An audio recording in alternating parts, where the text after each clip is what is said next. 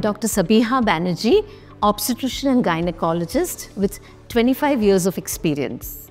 I would like to talk about the role of diet in polycystic ovaries and insulin resistance. When a person consumes processed carbs like white bread, pasta, there's going to be a sudden spike in the blood glucose levels. The body compensates for this by increasing the insulin production that drives this glucose into the cells for utilization or storage. However, if this happens on a regular basis, then the body is going to resist the action of insulin and there will be a buildup of insulin with a buildup of the blood sugar.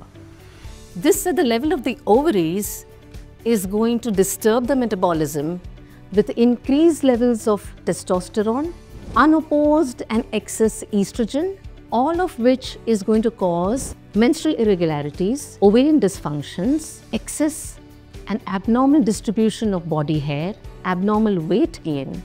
The remedy is medical management of this condition along with lifestyle changes. We've seen a rise in the incidence of high-risk pregnancies because women are choosing to become mothers in their late 30s. It should not be scary. What one requires is expert and experienced care along with supervision throughout pregnancy with added surveillance and an alert eye to pick a red flag at the slightest flutter.